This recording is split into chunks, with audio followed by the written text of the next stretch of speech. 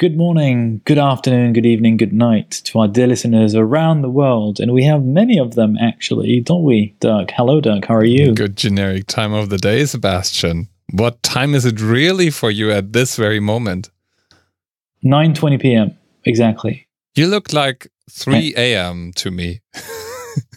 Uh, did because of how I how tired I look, or because of uh, what you think may be a pajama, but is actually a traditional Indonesian dress, uh, men's dress, which is tailored to me. It's given to me by a friend, a close friend of mine in Jakarta. Um, he had it made, uh, tailor made to me, and it's called batik, which is uh, typical Indonesian Wow. motif. Like it's repeated motif. It looks like a pajama.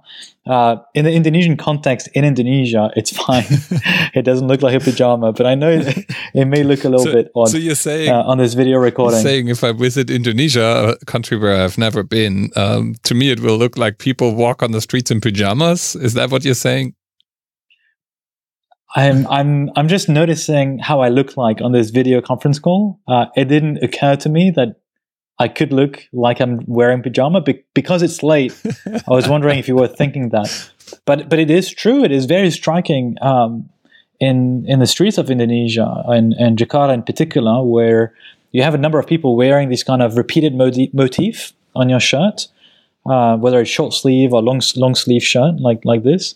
It actually looks looks pretty cool actually, and it's it's quite colorful. Mine is is a, a dark green, so it's not exactly the most colorful one, but but it's funny how how men would. It's only men wearing this kind of like um, button shirt uh, with batik motif. I think for women they would have other kind of of uh, dresses. I'm not very familiar. Not can't imagine right now, but I most certainly there must be.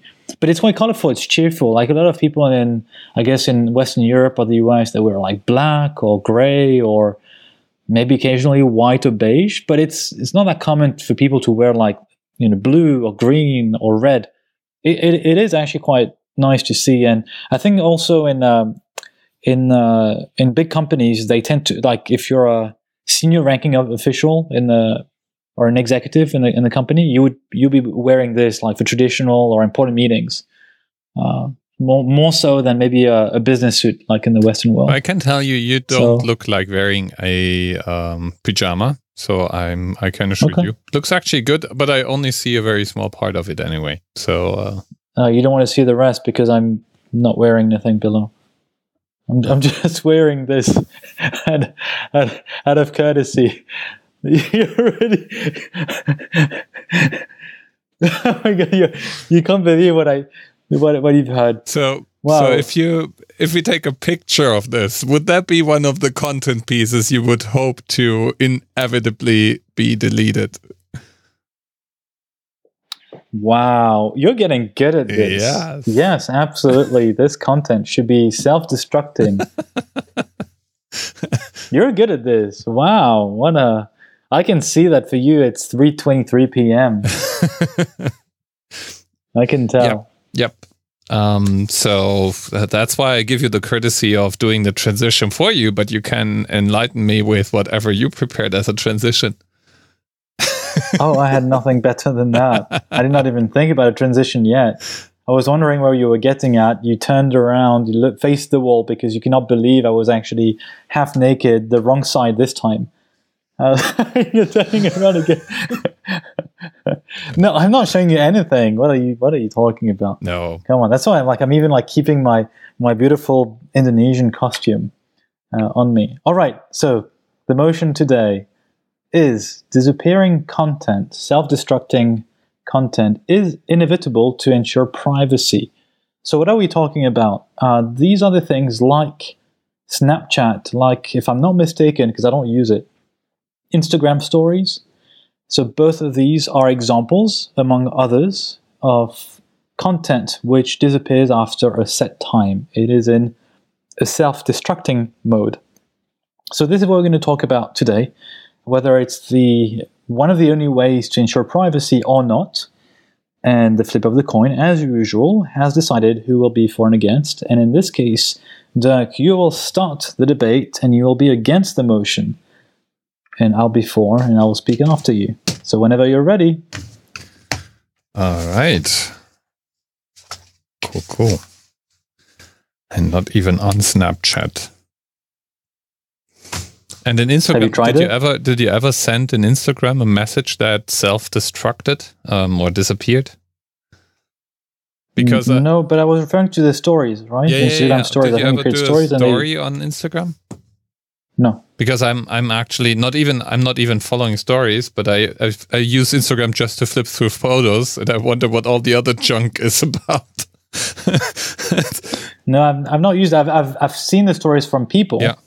But but that's why I, I know it exists. But I haven't used it myself. I'm not a very. I don't use Instagram. I have a few things, but it's old stuff Mm-hmm. and very few pieces. And Snapchat I tried once because when we were talking about it a few years ago when it came out, and I was horrified at the look and feel of it.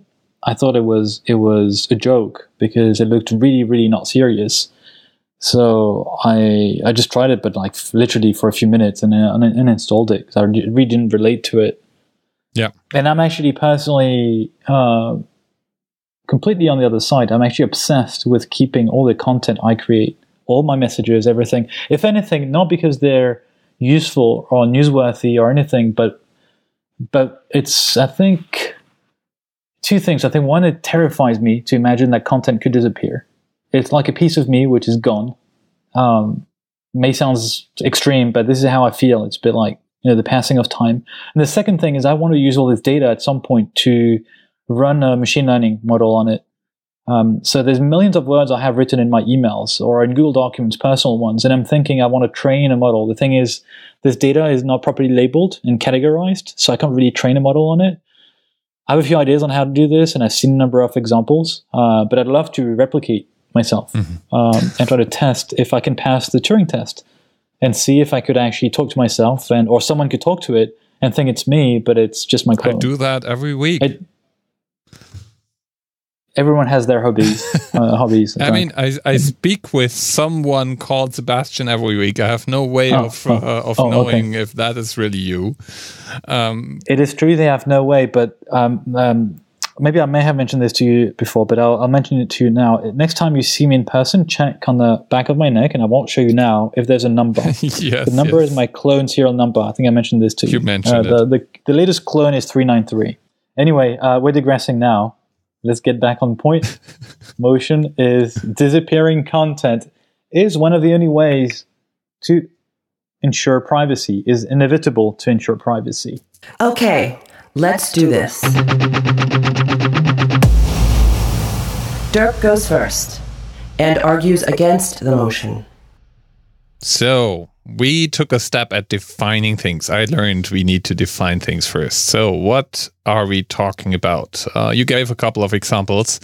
Content is a pretty broad term, and it deserves a little bit of precision, but uh, also we don't want to restrict ourselves. So when we speak of content, we mainly mean things that are published on the internet and publicly available to some degree. Doesn't mean everybody has access to it, but a sizable number of people has access to it the number of people needs to be large enough so we lose control over that content, right? So this is articles, videos, podcasts, pictures, recordings of any kind uh, that may be in scope for that. And maybe not so much the personal pictures that you store on your personal cloud account, for instance. This is not the kind of content we're talking about. Uh, it's an important distinction because we're not talking about everything online, but actually about things that got published for broader audiences to see. And to be blunt, not the disappearance of content ensures privacy, not posting it in the first place does ensure privacy. That's an important distinction. My main point content does not disappear. So we can demand it, we can say it's crucial, but actually it never does. It is either transformed or stored out of sight or not linked to it anymore like in the case of the right to be forgotten that we are not allowed to to find it in indices anymore uh, in a, in a search engine anymore but in our current internet architecture there is no way to get the toothpaste back into the tube. I'm sorry. Thousands of services index every piece of information we share. Every service we use is analyzing us. It is simply not realistic to demand any form of disappearing content, even though there is an illusion in some services that that this may be the case. But even if things disappear from Instagram or Snapchat, the meta information and often the information itself actually stays very real, saved, and stored away in the servers of these service providers. And uh, well, uh, while at it, the larger threat to privacy actually is that invisible data that is being collected without uh, your knowledge, not necessarily the content you publish. Next up, Sebastian. Let's hear his argument. Every bit of information that is stored or shared is potentially exposing you to a privacy breach. So, indeed, as you said, the only way to ensure privacy is by not sharing anything at all. But if we assume that we're talking about sharing, creating content, uh, the only way to ensure it is that uh, that you have privacy that becomes ultimately deleted. Which is interesting because another side point is the content that is often created anyway is mostly meaningless. That's another debate. Uh, so there would be really no point in storing it. And even if it were not meaningless, in the grand scheme of things, it will be destroyed anyway. When I say the grand scheme is what will the internet look like in a few centuries anyway? There's one important aspect I want to come back to is that I believe most of the internet users today are not capable of handling their privacy well enough. They don't understand, we don't understand sharing settings well enough. They can be explained multiple times. We still don't get it. So it feels that by being forced in some apps and some websites for these messages, for this content to be self uh, destructing is actually the only way to ensure that we don't have to educate people too much because it's just a nice wish to hope that they will understand. You could say there are, there are all the other alternatives uh, to protect privacy. You could talk about encryption, but encryption, unfortunately, is not reliable. I was just reading an articles, uh, an article unrelated, but it made me think of it as I was preparing for this debate. Quantum computers will eventually break all forms of encryption that exist today. So all your messages, if they were not uh, destroyed, will be potentially, even if encrypted today, will be decrypted in the years and decades to come. And guess, by the way, which country is one of the leaders today in terms of quantum computing? Computing, it's China. Um, so I can just let you imagine what would happen if the Chinese government has access to some of your old messages which are encrypted and you thought that was a reliable way to ensure privacy. I'll conclude with one thing. The good indication that this privacy works with self-destructing messages, government officials use it to the point that open government advocates are worried that they are being misused these uh, self-destructing messages by public officials to conduct, to conduct business in secret and avoid transparency laws. That's for me a very good example as to why disappearing content is one of the best and only ways today to ensure privacy. And now on to Dirk. Let's hear his rebuttal. I encourage you to Google or Bing or whatever you use to search the web um, to search for quantum safe cryptography. Turns out there's a whole whole branch of cryptographic methods that will be in place when we will have quantum computers that break today's algorithms. That's that's true, that's right, but that happened in the past as well. So today's computer broke the algorithms of the past. Uh, I'm not very worried about that. And yes, indeed, cryptography is a way to ensure privacy to some extent, not the full extent. Um, there are other ways that I can think of. For instance, you can separate the content being posted from the personal information. Uh, not for every piece of content given. If your picture is uh, posted, it's hard to remove your identity information from that picture. Okay, fair. Um, but to some degree, an- another option is uh, to control access rights. So you have you have uh, content published, but you control who is able to access and uh, control it. Very much like you can right now pro- uh, protect your privacy and the safety of your home by closing the door and the windows. Uh, same here. You demanding something that's just not realistic to demand and not working. Even in those apps that quote unquote destroy the content, they are not destroying the content. And while they are uh, uh, faking to destroy the content, everybody on the internet uh, who had access can actually make a copy of that before. And that happened in plenty of times. So people take screenshots, uh, people uh, have backup copies. The service provider uh, itself usually has backup copies in many, many cases, depending on what service we talk about and what kind of self destruction you envision. But the truth of the matter is, information is not destructing itself. That sounds pretty cool it's just not how the internet is built. Now you can say maybe the internet should build that way. I'm not so sure about that either, because there's also something to be said about uh, being um, responsible for what you do online, being responsible for what you post and publish, and being held accountable if these things uh, are are maybe um, um, well something you much rather remove afterwards. Very much like if you walk out there and say something in public, you have no right that people all of a sudden forget what you said. Uh, the same is true on the internet. If you publish something openly, yeah, you may be lucky and people forget what you posted, but there is no such thing as a self-destruct uh, destroying information, and there's no right to do so. It even can be seen as a threat to free speech and threat to uh, uh, freedom rights, because the question is, who is in charge of removing and self-destroying content that you want to see removed from the internet? Um, or a content that you want to see removed from messaging services. Who is it that is is doing that destroying. And how do you guarantee that it really happens? So i do think it's a it's a nice story. It's a fairy tale we like t- uh, telling ourselves. It's technically unrealistic. It's not solving for the actual problem that people post stuff without understanding the consequences. And i think we have some growing up to do to learn consequences of actions. And ask ourselves what we mean when we say uh, we want to protect privacy because the meaning of the word privacy is something that's unclear as well and now on to Sebastian. So you mentioned at the beginning uh, of your arguments that people can use access rights to change how other people can access their content. Now, let me ask our listeners that question. How often did it happen to you when you thought you had shared some content, let's say on YouTube, let's say your document, and there was confusion on the other end with the people you were sharing with as to why they could not access it, or sometimes that they could access it when they were not supposed to access it. And it's not a bug. It's not a problem with the, the app you were using.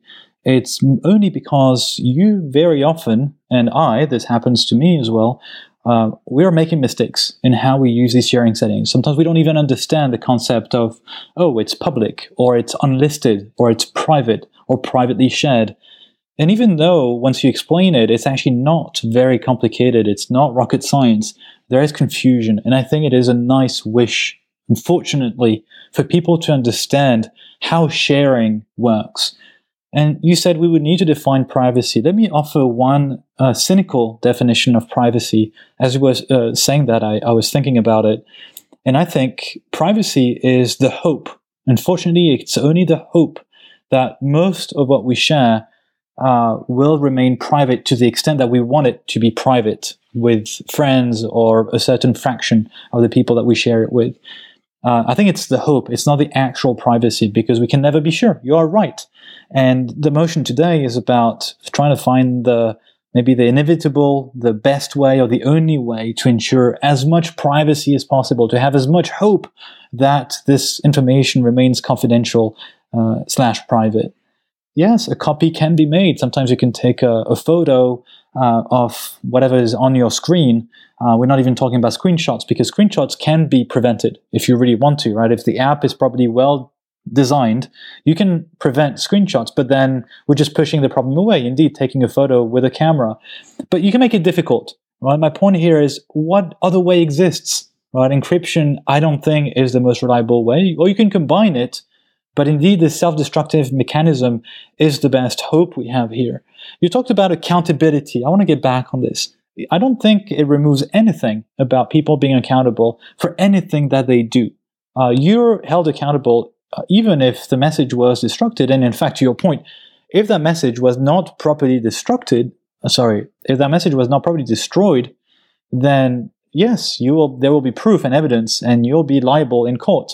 But here's the thing, as I mentioned earlier, government officials are using these self-destructing messaging apps um, for a reason. Is because they know, or they hope at least, that, that uh, this their messaging will remain private, which is a problem, as I mentioned, from an ethics perspective and open government. But this is not what we're debating uh, today about. So yes, I, I agree with you. There's no guarantee that the destroying actually happened, but it's better than nothing. We have be- nothing better to ensure privacy or that hope of privacy. It may sound very cynical, uh, but that's why I think disappearing messages is uh, inevitable to ensure as much privacy as possible. Final statements. Dirk goes first. The dominant threats to privacy are not coming from content pieces that are not disappearing. The dominant threats to privacy come from company that overstep boundaries, come from state officials that use data they can gather and harvest to uh, basically follow you around. And those those threats to privacy are much more threatening and much more real than you posting a picture you you rather not post.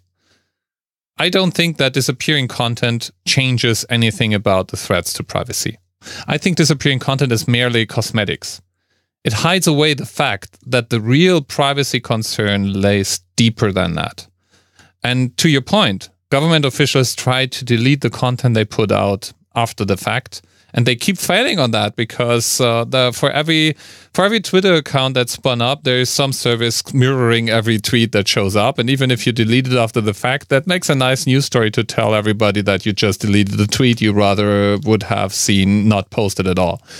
And the same is true for the pictures you share on Instagram, for the material you put in your Facebook account, for the stuff that you have in your Snapchat there are plenty of people that have everything they need to invade your privacy from the fact that you posted it in the first place. So if you're really concerned about protecting your privacy, then don't post it or post only things to take that common phrase, post only things that you feel comfortable with uh, appearing on the front page of the New York Times in a business context and maybe in a conversation between friends if you're in a personal uh, setting. I do think it's a uh, it's not working. It's not existing. It's not realistic, and it's not the only way to protect privacy anyway. Sebastian. Human beings are social animals. They need to share. There's no way you can ask people to stop sharing so that they have privacy. It's just not going to work. We're mammals, we share, we need to do this and we don't want to worry about privacy. The problem is we do not understand privacy. We are not Germans, all of us. We struggle with notions of private data. Uh, and I say Germans because of the history and, and the sensitivity of, of data, right? So you have in particular, and I'm not a, this is not an attack, it's a praise. You have a particularly good understanding of the privacy concepts, uh, and, and in Europe, we have GDPR and other things like this, which are difficult to understand for most people. That's what I want to stress. We don't have that education.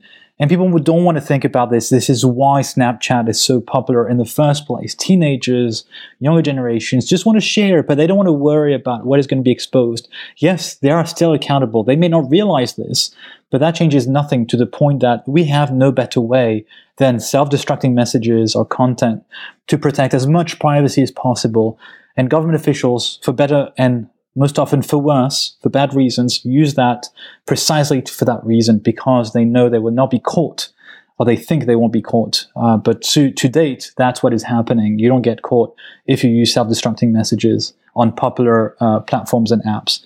So yes, uh, self-destructing messages are the only way, or one of the best ways, or one of the only ways to ensure privacy.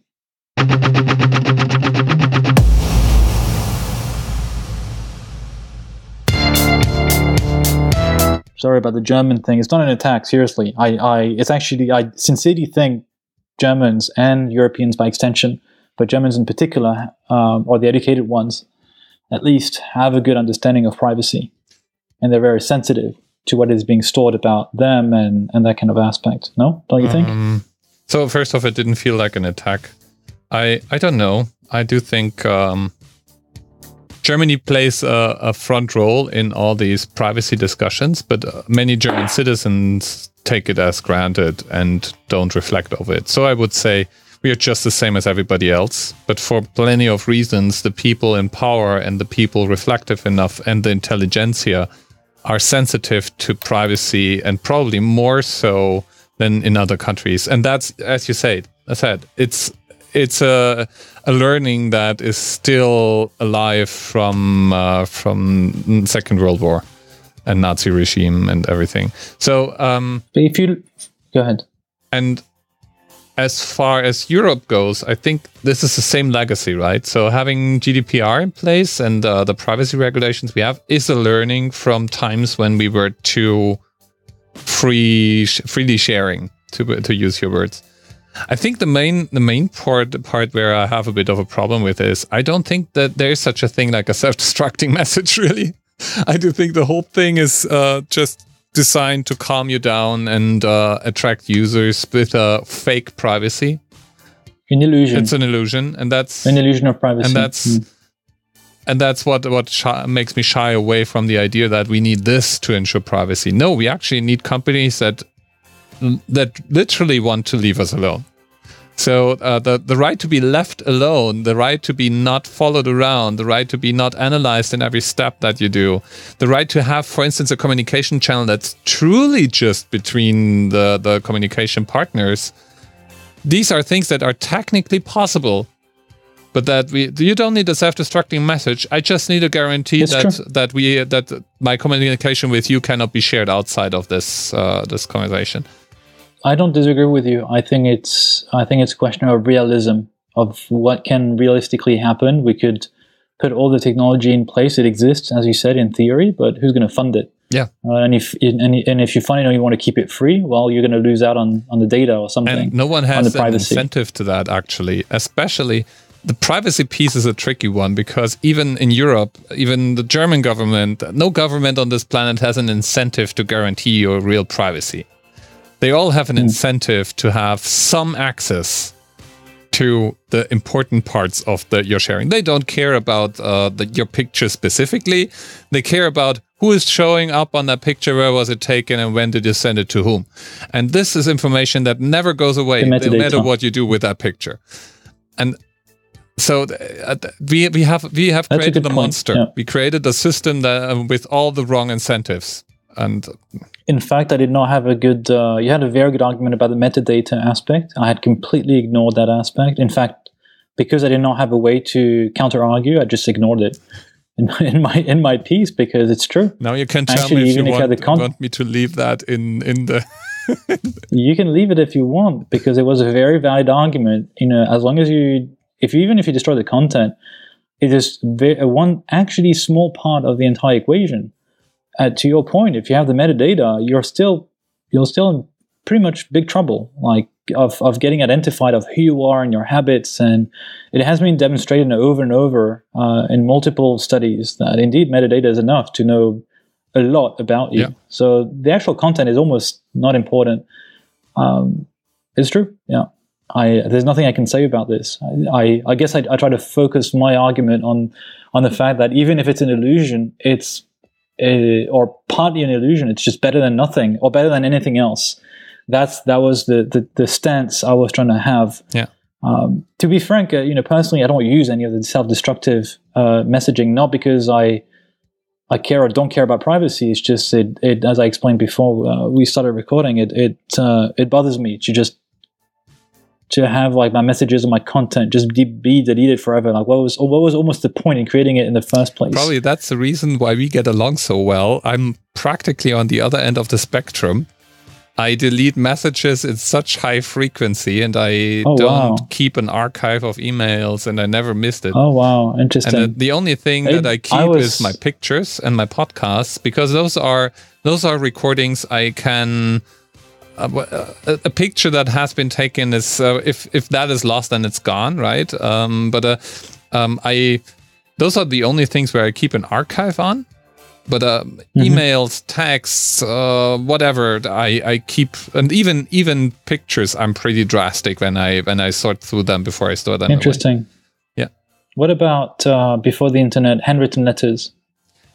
Do you keep them or do you do you throw them away? I, am not sure if Personal I, ones, not bank statements. yeah, yeah. I'm not sure if I have any left. I do think I have a few Okay. letters out of sentimental reasons, like uh, handwriting of Yeah. my mom, or um, I do think I have a stack of love letters somewhere, teenager uh, love letters. Yeah, yeah. But uh, it's a very small number of things, um, and I wouldn't you- even if if I would be pressed to. Um, I threw away plenty of things from my past, so I don't keep Okay. a large stack of stuff. So. Interesting. No, it's yeah, it's true that I'm really at the opposite angle, uh, spectrum end of the spectrum here. I was I was mortified when I lost a hard hard uh, disk drive in in the early 2000s because it had all my Outlook uh, backup archive from my personal messages before I switched to Gmail, which launched in 2004, if I'm not mistaken. And it bothered me. I just lost everything, and it was indeed like it was a few, maybe hundred or thousand messages back then only but I don't know. It's, it's as if I'm keeping this also to reflect upon my old self, or my younger self, rather. And and maybe with I, I'm not hoping for it, but it's true that now that we're talking a lot about machine learning, I'm actually wondering beyond what I was talking about a clone or a chatbot, even to see if there is any pattern that could be analyzed or detected. Maybe even things like mental illness. I don't know. Like maybe we will find out by the way you express yourself and you miss out on words that you have sleep disorder, which maybe I have because I don't sleep very well, for instance. And maybe by connecting this with the time of at which I was sending emails and my location in terms of time zone back then could actually draw some interesting data. So it's it's for all these reasons. And for me, I treat my words, just my written word, and my I guess my my verbal recording with you to the same level as pictures. Right? I, I, it's things that I create that come out of me, right? That I cannot recreate in the future in the exact same phrasing, maybe. So that's why it matters to me. I agree with you. Like I actually delete emails which are purely, purely practical, like a one-liner saying, "Hey, are we meeting at 9:30?" Uh, this one I actually go to the extent of going to the sent emails and delete it right right away. Yeah. Right? It's it's weird, but everything else I do keep. I mean, the, the Yeah. interesting thing about all this, uh, what we discuss here, because you also suggested encryption as a potential way to protect privacy. I do think Yeah. there's a misconception about what it is actually that we try to protect. And that was goes to the discussion you, we had uh, just now about metadata as well. And the comparison I said, uh, um, um, and the, the comparison I once heard is uh, privacy. If you want to co- find a real world example for what is privacy, then take the bathroom. If you go into the bathroom and you close the door behind you, that's not because it's a secret what you're doing in there. It's because you want to have your privacy. Everybody knows what you're going to do. Well, in most cases, every, people will know what you're doing there. If it smells like weed outside, then people also know what you're doing in there. And it's it's not a it's not a secret. So encryption is not solving for the real problem. And the Right. There's confidentiality versus yeah, secrecy. exactly. Right. This is where we're moving in, in different waters. I see. Yeah. Yeah, and people point. confuse one with the other. So when people say, uh, for instance, then you say um, NSA surveilling uh, people is a problem, internet, um, everybody analyzing uh, movement is a problem, and then people often reply, uh, "Oh, I have nothing to hide." This is. For Yeah. that very Yeah. reason, you also have nothing to hide if you go to the bathroom. It's, uh, but uh, you still close the door because you don't want to be watched while you're in the bathroom, and that's the same notion in the end. Uh, it's just for us so hard to grasp because the internet is such an alien beast and such a young young thing for us. But it's the same kind of concept in in the end. All right. As usual, let us know what you thought about arguments. You can vote on 2debate.eu. Thumbs up, thumbs down if you're in favor or against the motion, but do vote after you listen to this, not before. Thank you for listening. Let us know over email on the website what you thought about this debate. You can vote on the website. You can vote on the website 2debate.eu.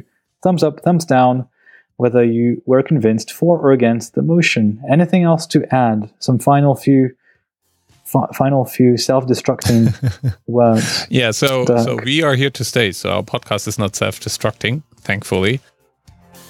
Yeah, I do like to add that we have a newsletter. So maybe our listeners don't know, uh, where we send out a news mail whenever we release a new episode. Sometimes with additional links, pointers to other podcasts that may have interesting side content. Sometimes only witty thoughts and weird jokes and animated gifs and what have you.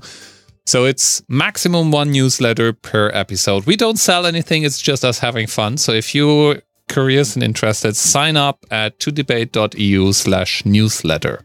That's 2debate.eu slash newsletter. And I think I, I knew uh, listeners should know that from now on, I'll probably be the one preparing the newsletter because you used to do that every every week or so.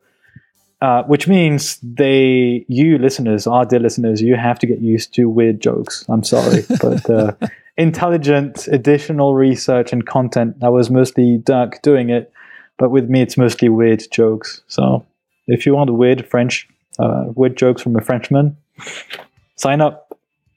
I'm a fan, so will be others, and uh, every once in a while we will flip and uh, share the the writing task. Uh, so some German links and structure will happen to spill into the newsletter every once in a while. Sounds good. All right. Thank you for listening, everyone. And stay tuned for our next episode in just a week. Bye. Bye bye.